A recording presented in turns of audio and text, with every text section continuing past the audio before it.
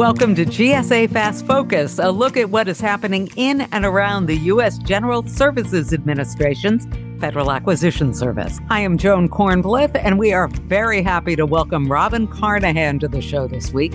She is the 23rd administrator of the U.S. General Services Administration and brings a lifetime of public service to the job. You know, this is one time I could say literally and be using the word correctly, as Robin was born into a family devoted to public service, something that we will talk about in just a couple of minutes. Now, this is not her first time working at GSA.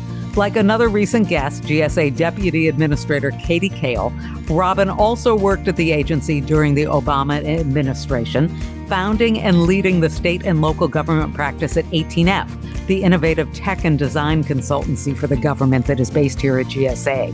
18F partners with agencies to improve the user experience of government services by helping those agencies build and buy technology.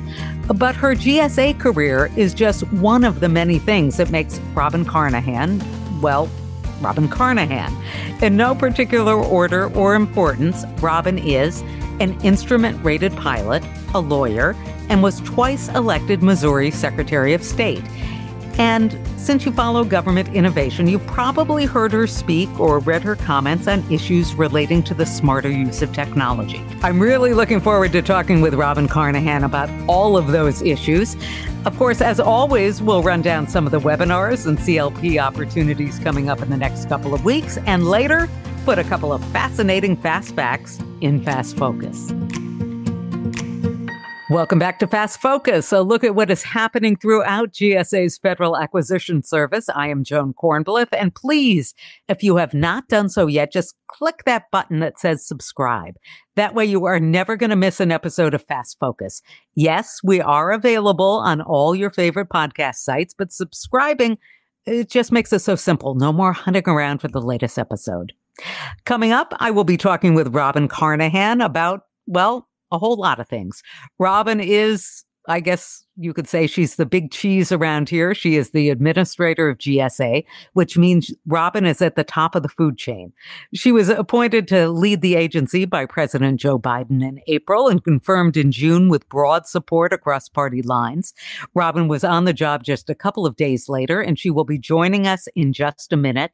But first, I want to tell you about something cool coming up on Thursday, September 16th from 9 to 10:30 a.m. Eastern Time. It is the GSA GSA Mid Atlantic Region's next Customer Connection online panel discussion, this time featuring the Nuclear Regulatory Commission. Join us, take part, and learn how GSA can help your agency optimize your workplace design. This event will feature a panel discussion between the NRC and the GSA project team. You'll learn how the GSA project team developed the new NRC workplace design, resulting in a significant space reduction reflecting the NRC's changing needs post pandemic. This will also be a great way to learn how Workplace 2030 is being incorporated into workplace design. To learn more and register, just go to www.gsa.gov and then scroll down and click on the upcoming events section or reach out to your Mid Atlantic region account manager for more information. Again, that is Thursday, September 16th from 9 to 10:30 Eastern Daylight Time. The Mid Atlantic region covers leases expiring in just that region, but I suppose folks living in other regions could still tune in to pick up tips. But you will be getting up pretty early if you're in the Pacific time zone because that is a 6 a.m. start time for you.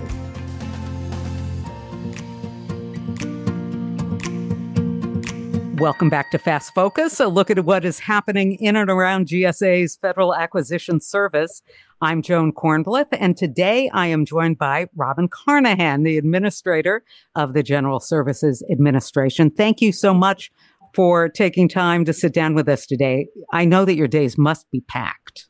It's been pretty busy, Joan. No, I won't. I won't tell you otherwise. but very interesting, and I'm enjoying it very much. Well, I think it is safe to say that while I am pretty sure that you are our first guest who has a pilot's license, I am 100% sure you are our first instrument rated pilot. And I know that you are our first former Secretary of State, not just of Missouri, but of any state. But would you give us your short bio? How did you get here? And, and please don't say I turned left at Albuquerque. For sure, I won't say that. So, uh, quick background on me. So, I grew up in a little town in South Missouri, got a degree in economics at a little college outside of Kansas City, Missouri, and went on to law school. Was always very interested in sort of public service because that was a thing that ran in my family. But my dad was a lawyer as well. And so I spent a little bit of time practicing law after law school. I came back to St. Louis to do that but always kind of thought I would do something else and thought a law degree was really handy, but I didn't want to be a lawyer. So I ended up uh, working some in the federal government uh, in the early 90s in the Clinton administration at a place called the Export Import Bank and learned a lot about federal government. I'd done a little bit in state government prior to that, uh, but learned a lot about federal government in a small agency that was very mission focused on delivering for a very specific set of uh, customers, of people who were trying to sell more goods and services overseas. And so it was great experience. Returned home to Missouri, always have done a lot in politics with my family and had, you know, parents running for office on and off and helped in campaigns, but also did a lot of business and trade consulting during that time. So I was out of government myself, but decided to run for office myself. And that was in the early 2000s and was elected Secretary of State in Missouri. I served two terms. It was, again, a, a, really interesting experience about people's expectations with government. It was very much a service delivery office. It, you know, not a high policy office. We didn't vote on anything. We just had to help people who needed something out of government. Uh, sometimes it was business people who wanted to start a new business. Sometimes it was folks who'd had problems with uh, financial investments because we took care of uh, we were the oversaw brokers and dealers and all financial uh, securities investments in the state sometimes it was folks who were interested in genealogy because we dealt with the hmm. state hmm. archives other times it was voters uh, and people because we oversaw elections and some it was libraries so it was this giant portfolio of customers that we dealt with every day and that was right around the time that things were beginning to be more digital in government. And so I remember the first day I walked into that job, there were more people literally opening envelopes to prepare checks to be deposited to do renew their business license than we had in our IT department. Right. So that was like the moment was like, oh my gosh, we have got to do better with this because not only are these customers of the office, these are voters. Like I've got to like keep people happy uh, and they expect not to have to do all of this stuff in, in paper and have it take a long time. So we spent a lot of time when I was in the Secretary of State's office improving technology in every single part of the office and did some really, really interesting and innovative things. But I also saw when it didn't work and had very sort of searing experiences with vendors who didn't deliver um, and projects that were over budget and over time and it was terrible. And I found when I left office after two terms uh, that that was not unusual, that a lot of other people in public life had you know their own version of PTSD because the technology that they depended on to run their office, uh, they didn't know enough about what questions to even ask to make sure that it worked well. And so that's what really set me on the path to sort of better understand how if you can't make, as I say, the damn websites work, you can't deliver government service well to people because that's where they're going to get service nowadays. So that's what led me to uh, GSA, and I joined the 18F team uh, to begin to like stand up some things for state and local government to make those uh, technology transitions go better. Uh, so it's exciting to be back. Well, how does that background that you just described to us, how does that uh, influence your approach to running a federal agency? Because this job is quite different than the last one that you held at GSA and all the other ones that you've held before.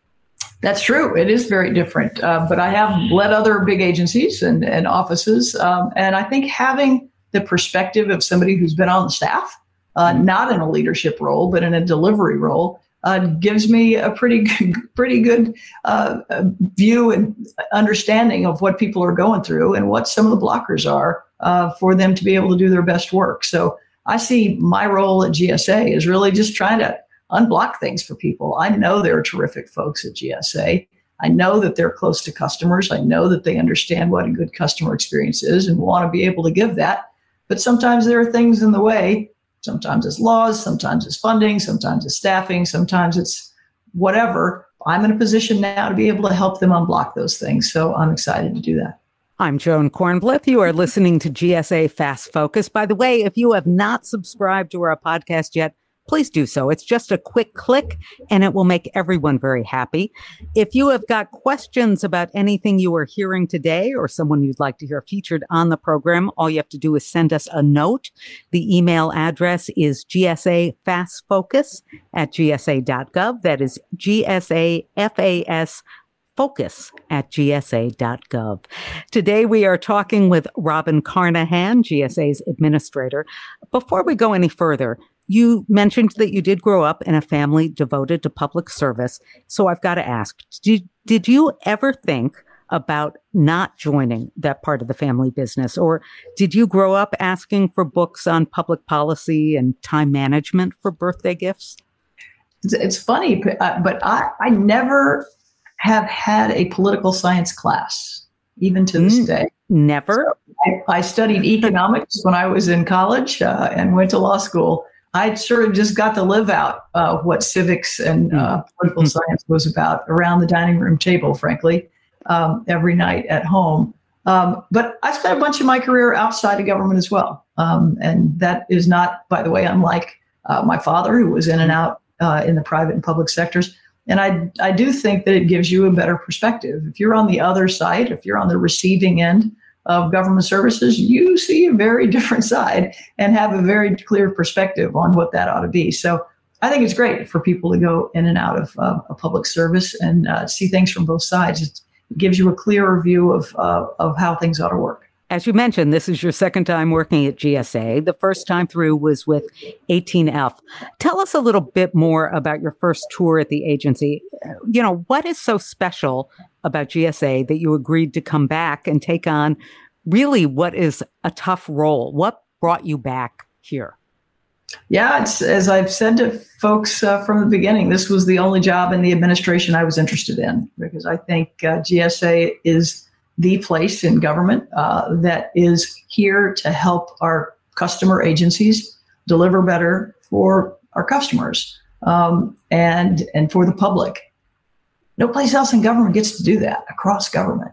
And so the potential to make an impact and show that government can work, that democracy can deliver for people, uh, is what motivates me. And so that's why I was interested in coming back. You mentioned my first time at GSA, which was uh, at in the Obama administration, and I stayed over during a part of the Trump administration as well. It was very, it was really pivotal for me to be able to better understand uh, the scale of the problem when it comes to the technology piece of government. As I told you, I had some experience with the good and the bad when I was in the Secretary of State's office. But coming to GSA helped me understand the scale of the problem and also to see patterns or common patterns that were affecting lots of different agencies at every level of government. And so once you can see the scale and see the patterns, and you're working with a bunch of very smart technologists who have thoughts about how to solve those, then you can begin having a sort of vision of the future and what that can look like and can talk to non-technical leaders right who are the heads mm-hmm. of most of these agencies about what they can do to present a different future and do better when it comes to digital service delivery so um, yeah it's very interesting i one of the things that i also was able to do uh, at, at 18f was take advantage of the 10x program want to take a minute to give that a, a big shout out. I think it's a fantastic thing that GSA has, which if you don't know about it, look it up. It's it's the ability for folks on the staff at GSA to pitch an idea. So if they have an idea about how to create a better service uh, to to the public, they can go and get some get some funding to be able to get some money and some time to spend and devote to this idea. You go back and you present it. If they like it, it's like an investment fund. They'll invest a little more money in that idea and then they'll do it again. And so there are multiple rounds of funding uh, and time basically that you can devote to some of these new ideas that you have. And uh, one of them that I worked on was a way to de-risk software projects. How do you how do you reduce the risk of uh, of developing new software projects, particularly focused for states? And it was interesting because we anticipated that that would be read by, you know, maybe 50 or 100 humans who were at the state level working for legislatures who had to look at technology budget requests. Like that was our audience that we wrote this whole thing for. Non technical, but that was the audience. And it's turned out that that document's been downloaded, you know, hundreds of thousands of times. It's been translated into several different languages and it's been widely used across government and was the basis for creating a federal handbook on the same topic. And that was out of 10X. And so I just bring that up to say, like, there are terrific things at GSA for folks who have ideas about how to make government work better to let you pursue those. So I encourage everybody to do that. We will make sure to get information about how to find out about that program into our write up about this podcast when it's published. And I think people often when they think of GSA, they think, oh, it's it's buildings, but there's so much more. I mean, GSA is really involved in things that every agency does. I mean, you look at rockets going up in space; they really couldn't do that without some of the parts that they procure through this agency. If you dig down deep into every federal agency, there's probably something related to this one going on and, and projects going on in every state in the country, whether it's the ports of entry, highway projects, everything. There is, you know, six degrees of GSA happening. So it really is a fascinating place to work. I agree with that. Well, as we, you and I are talking, we're nearing the end of fiscal year 21. We're about 18 months or so into unrelenting change as a result of COVID 19. Uh, you know, what challenges do you think GSA is facing now as an organization? And really, if it's, if it's fair to ask, are there opportunities for GSA moving forward? Oh, absolutely. You know, I, I think that there, there there's no doubt that uh, we've weathered all these challenges, just like everyone in their personal lives and and every business. Um, GSA has too. But I've been impressed with how well that transition's gone uh, from from my vantage point. It feels like uh, the, the challenge and the opportunity is kind of the same thing to me, which is how do we reimagine the workplace of the future, right? Where, how we serve our, our, our customers and where we serve our customers.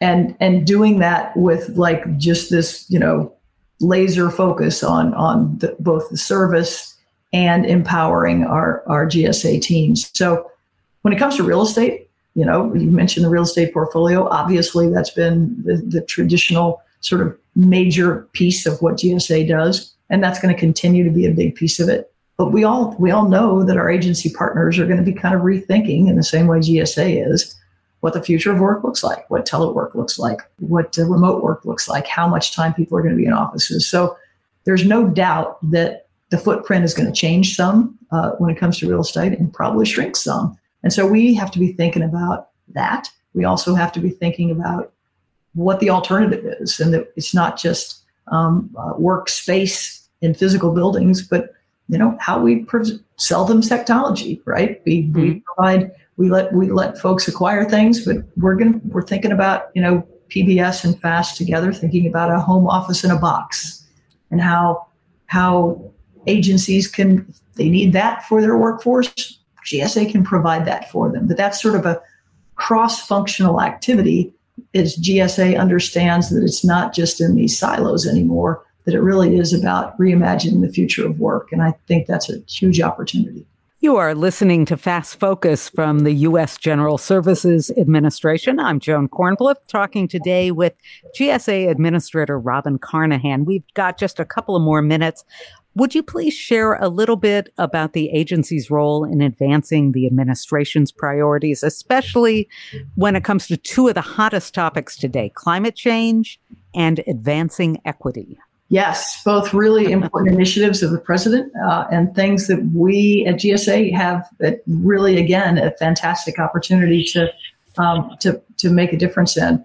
Um, on the, on the, let me just address the climate part first because there's so much that I think we can very specifically talk about there. You know, one is uh, carbon-free electricity for federal buildings. We've we have a target that we're talking about 2025.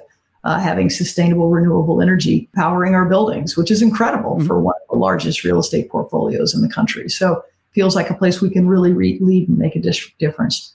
Uh, electrifying the federal fleet to get zero uh, emission vehicles is a big deal. That's in front of Congress right now.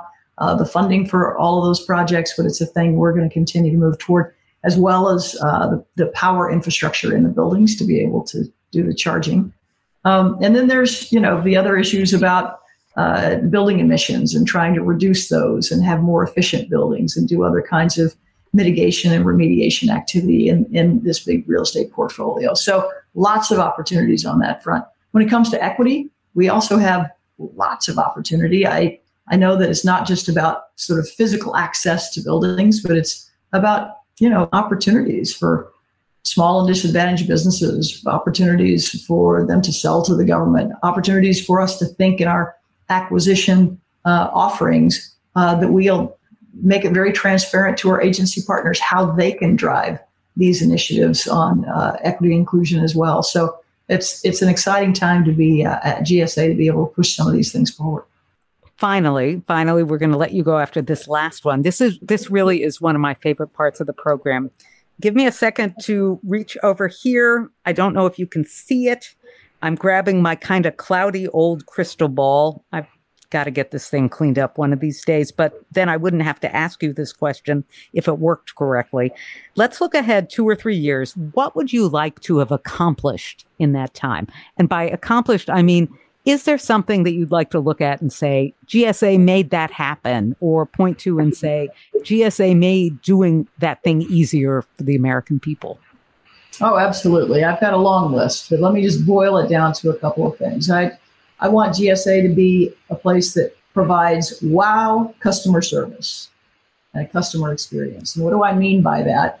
I mean that every time anybody interacts with GSA, whether it's in person, online, on the telephone, I want them to finish that and say, wow, that was great. Wow, I wish all government worked this well. So that's number one. Uh, and the second is I want to make GSA actually the best place to work in government.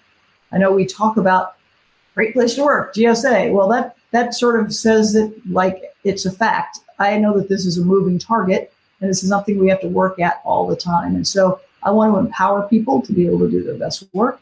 Uh, and if we can reimagine how uh, we're delivering work and where we're delivering work, I feel like uh, we'll be successful. Well, I will just say, wow, thank you very much. This has been really great. I learned a lot. And I hope that you will have time at some point soon to come back and join us again and talk about some of the things that we've accomplished since your last visit. And just wow, again, GSA. Thank you, Robin. Happy to be here and thanks for doing this. Look well, forward to seeing you again. We've been talking with GSA Administrator Robin Carnahan, and I really appreciate you giving us so much time today.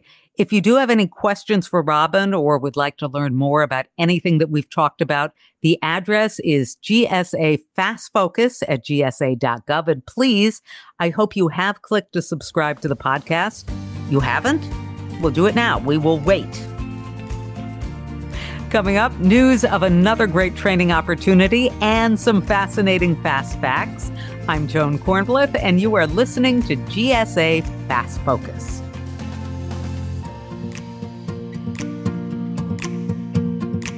Welcome back to GSA Fast Focus, a look at what is happening throughout GSA's Federal Acquisition Service. I am Joan Kornblith, and as always, we have got news of another great webinar or training session for you. I am joined now by our producer, Max Stempora. Max is here with information about what? It's what have you got for us today? All right, Joan. So this one's uh, kind of special. In honor of our guest today, I've found something from the Heartland region, and that's our Region 6, uh, sort of the, the middle of the US. It's an introduction to what Heartland Supply does and how it helps federal customers. Oh, excellent choice. Now tell me more. I bet our friends in Global Supply has something to do with this one. Uh, Joan, I think you're you're reading my lines again there. Mm-mm. I promise I am not. Go ahead. Tell me more about this exciting training opportunity at 3 p.m. Eastern on Wednesday, September 8th. Hey, now that's okay. All right. Sorry. So so there is a webinar on Wednesday, September 8th called Learn how to equip your mission with hand and power tools from GSA.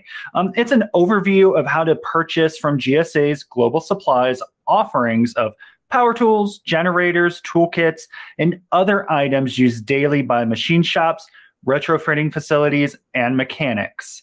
Uh, this one is perfect for contracting officers or COTARs, purchasing agents, cardholders, federal technical experts, or any other federal agency employee working with an organization that uses hand and measuring tools. Now, don't forget, GSA Global Supply is your one stop source for all your military and agency support needs, from new tools to office supplies. That's right, Max. When you order through Global Supply, you can count on regulatory compliance one bill, and global delivery from a reliable government source. And thanks to requisition based ordering, there's no need to comparison shop. GSA Global Supply guarantees you easy compliance with government acquisition policies and socioeconomic regulations. Plus, GSA provides full accountability from order placement through delivery and billing. Ordering from GSA Global Supply has never been easier. I'm just flashing back to when I used to do commercials for people. Again, this hour long webinar is Wednesday, September 4th from 3 to 4 p.m. That is 2 p.m. Central, 1 p.m. Mountain, and it is a lunchtime webinar for our friends in the Pacific time zone. Wherever you are, just remember to visit the gsa.gov events page at www.gsa.gov slash events to find out more. I am Joan Kornblith, and coming up on Fast Focus, we have got a few fascinating fast facts for you.